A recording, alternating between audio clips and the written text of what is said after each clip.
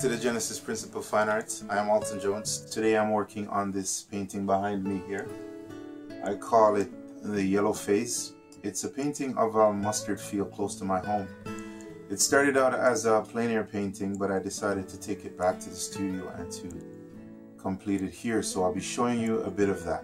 And also, if it's your first time joining me here on my channel, uh, thank you for checking out my content you should check out my intro video and that will give you a pretty good and a well-rounded understanding of what my channel is about and then we can go from there. Beyond this point, uh, my intro will run and then you will see me painting. I'll see you in a minute. Roll it. Roll the tape. Roll it. Roll tape. Roll tape. I love it.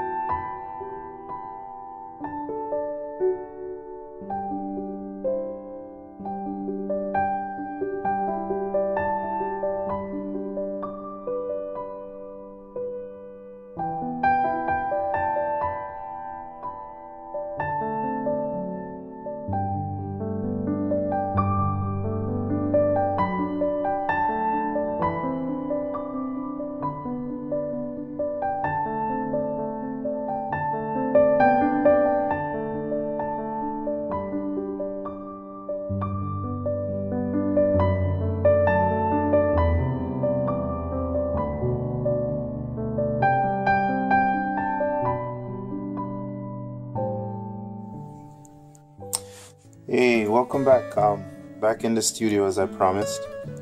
Uh, just continuing my work on the yellow phase. As I said, I would be finishing it in the studio. It did start out as a plein air painting, but I've decided to complete it indoors. Um, and so I'm just about to start mixing up my colors and start working on that. I thought I'd show the layout of the colors real quick and also a couple of the pictures. Well at least this picture. I don't have the other picture on hand but I thought I'd show this picture at least so you have a good understanding of what the field looks like at least from a photographic reference point. Um, so there's no clouds in this particular picture but in the painting clouds are included. And in the other pictures the clouds are there. In this particular picture the clouds were leaving when I took this one but the other picture is a little bit brighter. But this shows the layout of the actual place properly. I'm painting this picture void of the the lamp the um, power lines in the back because I want it to look more as a natural landscape before those things were implemented. So as those things are somewhat synthetic and artificial I won't be including those so I thought I'd show you the picture real quick so I'm working from a couple of photographs now and also from memory as well. I must apologize for the, the glare from my lights on the glass here, but uh, hopefully it translates uh, not too bad on camera. Okay, so the colors I'm working with today is titanium white and uh, Prussian blue and alizarin crimson, which is a form of red for those who are beginners and don't know too much about paints, about oils and this is cadmium yellow medium. Back to the uh, Prussian blue. Prussian blue is a very strong, very uh, dominant color. So if you're a beginner in, in oils, or I would not recommend Prussian blue for you to start with as a beginner. It's a very, very influential color. It's very dominant. And if you use it in to slightly influence your paints, it will in, it would influence your oils greatly. It will dominate your oils. It's that it's that potent. It's a very potent color. So I wouldn't recommend Prussian blue for a beginner, but uh, there's other forms of blue that you can use. You can use phthalo blue. You can use um, quite a few other types of blues that you can use instead of uh, of Prussian blue. So okay, so I'll be mixing up some color now and. Um, we'll be taking it from there. Today, I'm just working on the, the trees in the background. I'm completing the, the tops of the trees, the very pinnacles of the trees where they meet against the skyline.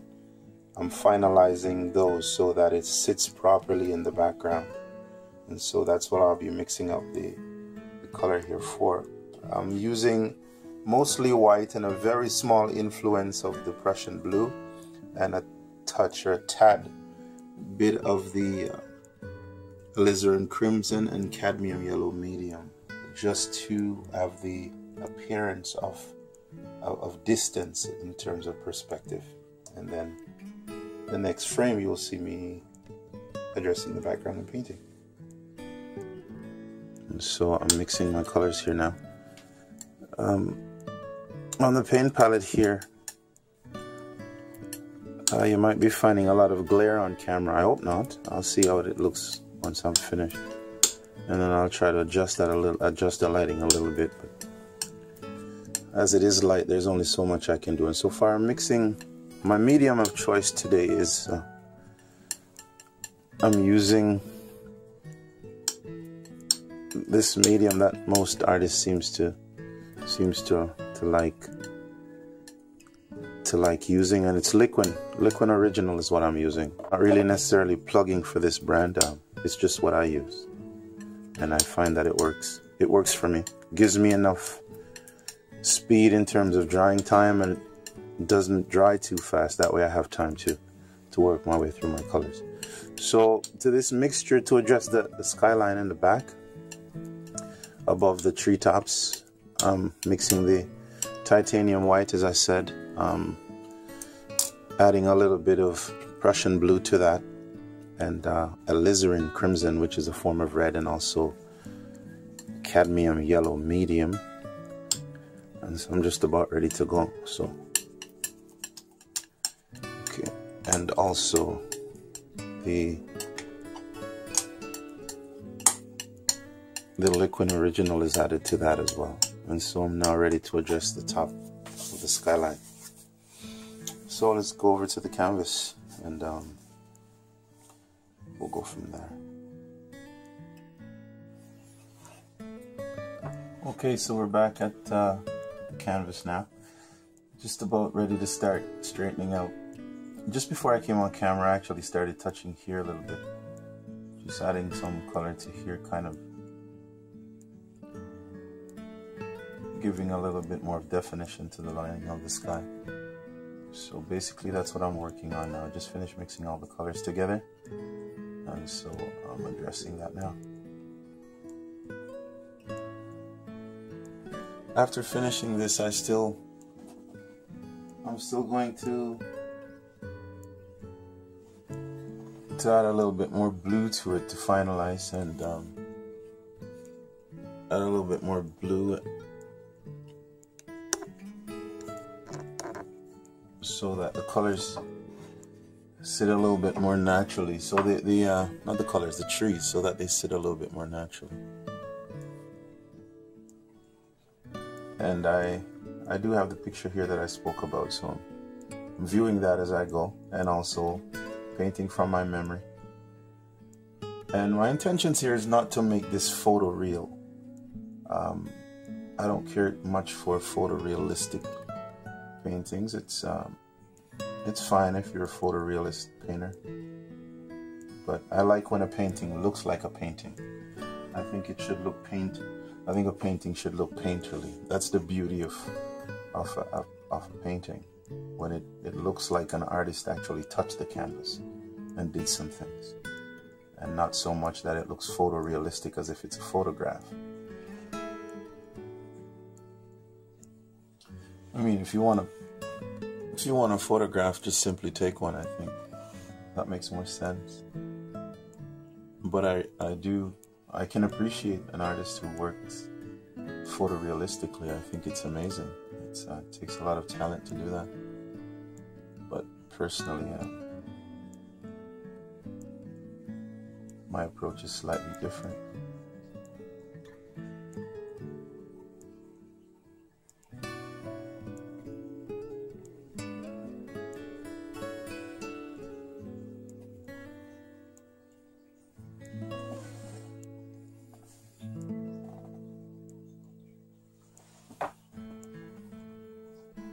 I'm not used to painting and narrating my work as I as I say I'm still new to this. I'm not used to painting and speaking all the way through, so I'll try my best to do that. But it's really not my thing. But I'll try to do that just so that you can have some idea of what I'm doing and what's going on in my mind while I paint.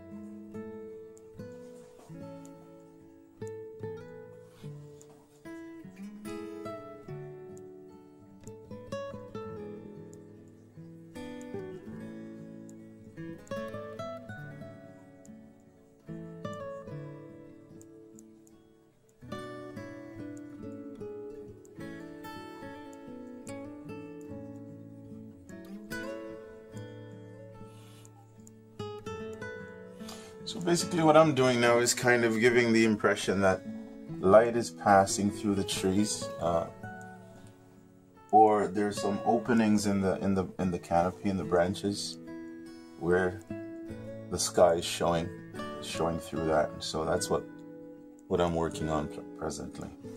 And this a lot of people tend to ask about this. This, this is just it's just a piece of stick. It's a it's just a bar that you can use to steady your hand if you're a beginner. If you got shaky hands, you can use something like that to steady your hands so that your canvas don't shake as much or your hand don't shake as much. Especially if you're doing, um, if you're trying to, to do some straight lines, you can use something to steady your hand. So that's what I'm using that for. I don't need it all the time, but I do use it I've got nerve issues with my hands, so I, I use something to keep my hand steady. But I can work without it. I mean, I can. I have different techniques I use. You can use a bar that you can um, you can press on and keep your hand steady, or some people use their their pinky if you're good at that. When I do a lot of fine detail, I put my pinky out and I address my paint, my canvas like this with my pinky. If you can handle that, some people can't. It's this is more difficult than using the bar. So you can use your use a bar as a stabilizer for your hand. But I use both. I just use whatever I feel like using at the time of painting.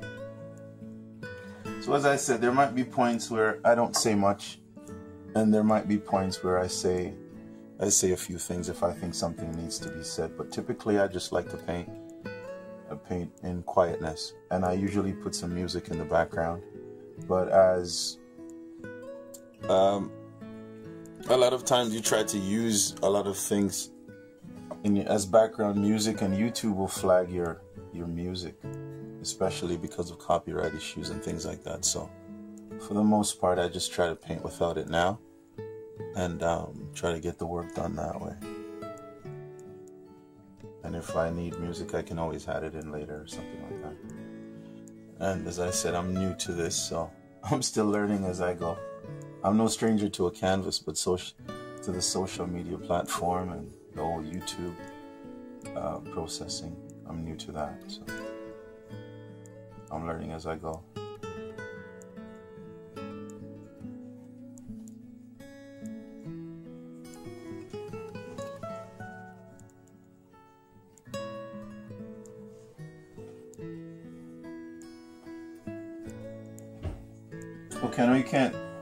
Can't necessarily see what I'm doing now. I'm on the can I'm on the uh, the paint palette here, just adding a little bit more blue to the to my paint, and um, incorporating that into the, mix, into the paint, into the, the to the paint so far. Um,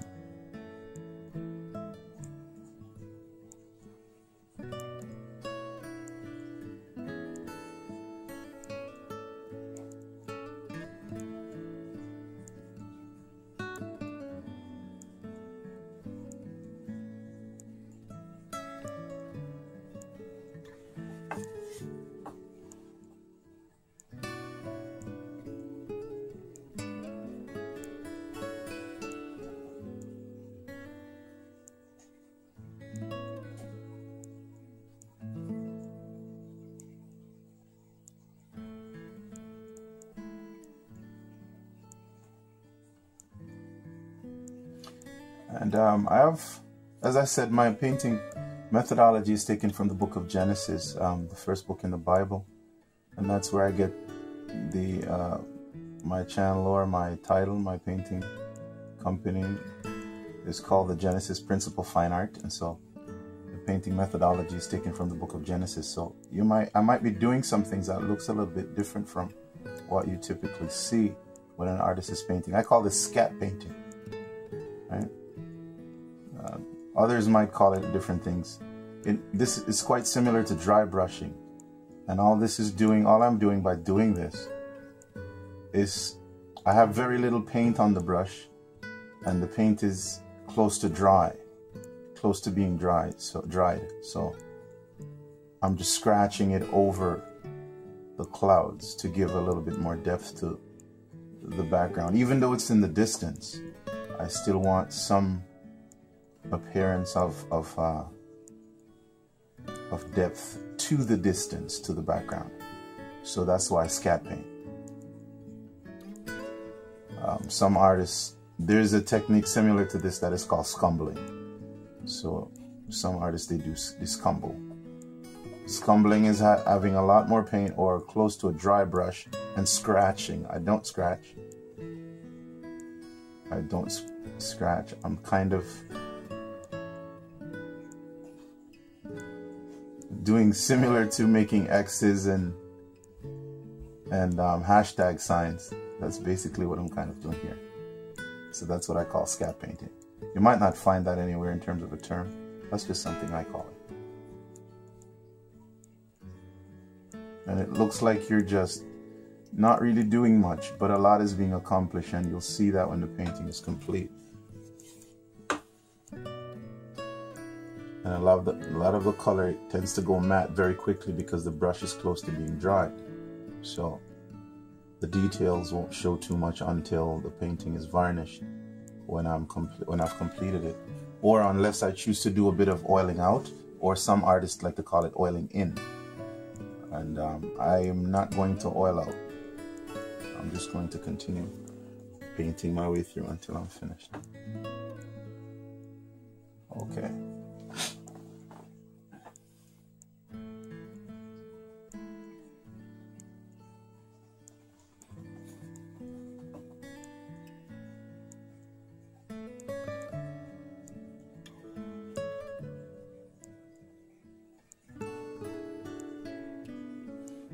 So now I'm not scat painting. Um,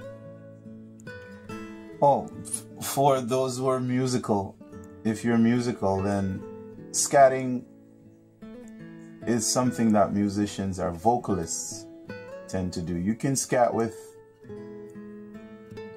with an instrument as well, but scatting is, uh, I guess, in the musical sense, what some musicians do. For example, when they're singing a song and they get to a point where they they do something like that's that's what is called scatting. So basically it's improvising vocally melodically with your vocal cords. So basically I'm doing the same thing with a paintbrush. At least if that's any form of in invention um, on my part. I think that's what I call it.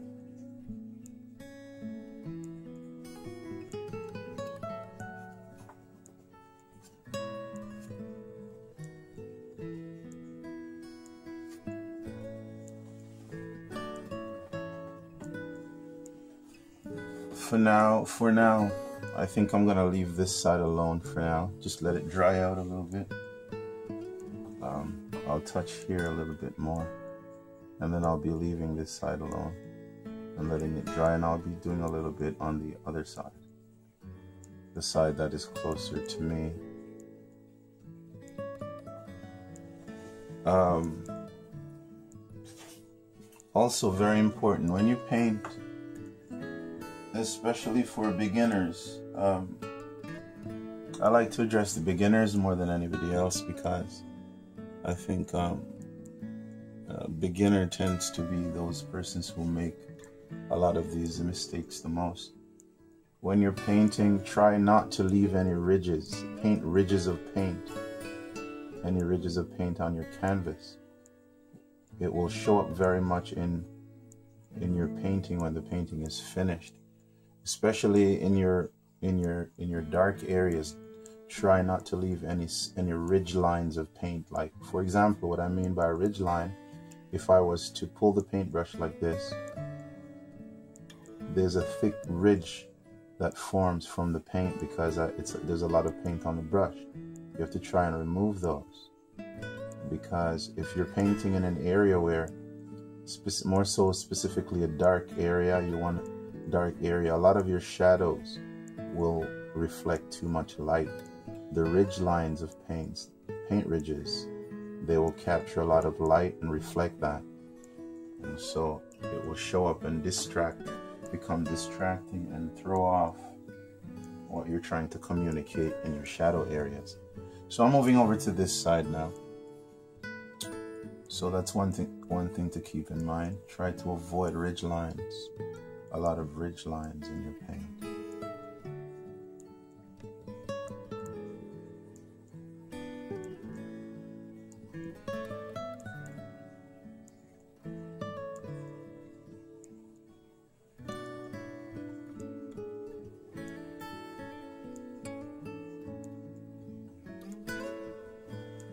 If you wish to use thicker paints at certain place to accentuate um, lighting, it's best to do that in your in your light areas where the, the light's brightest.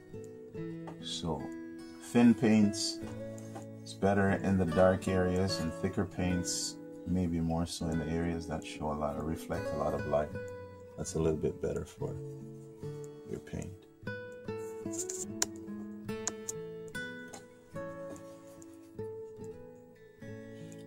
Hopefully you can see what's happening here.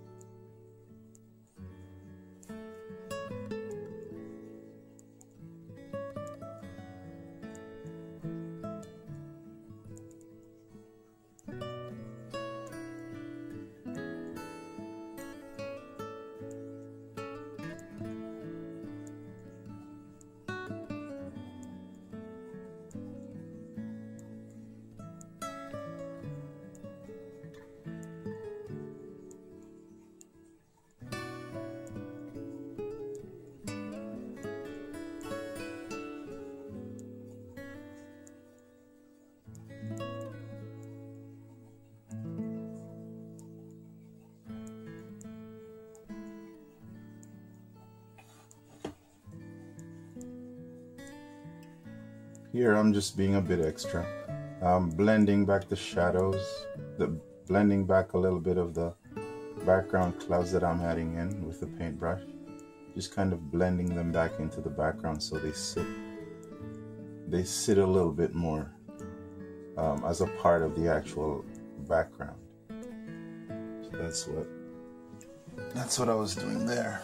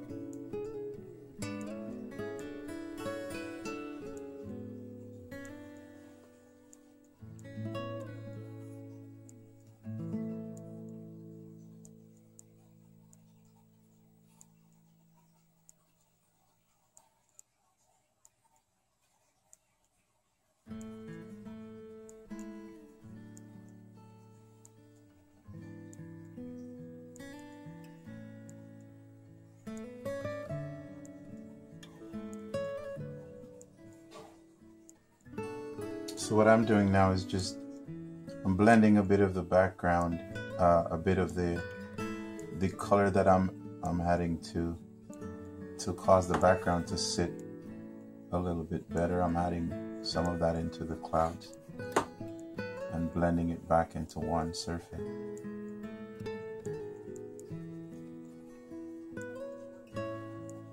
So that it looks a little bit more natural. That's basically what it is.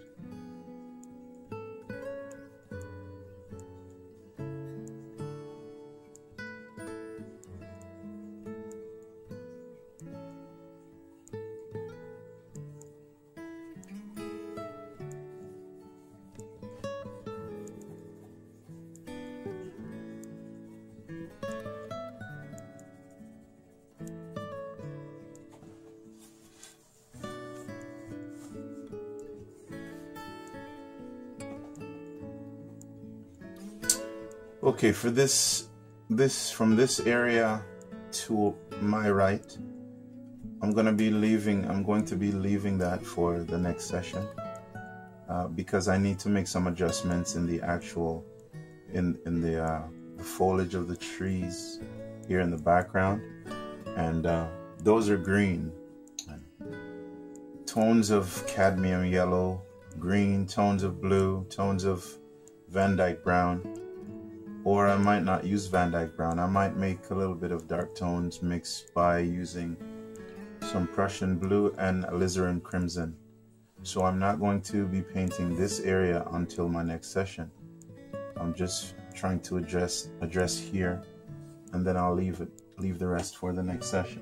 Session hopefully after it dries out then I can come back and make make some more necessary adjustments to that.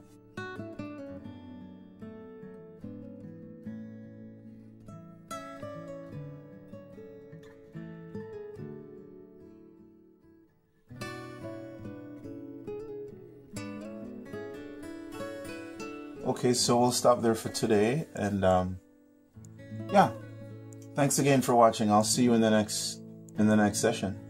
I'm Alton Jones, and take care, be safe, and I'll see you soon. Bye for now.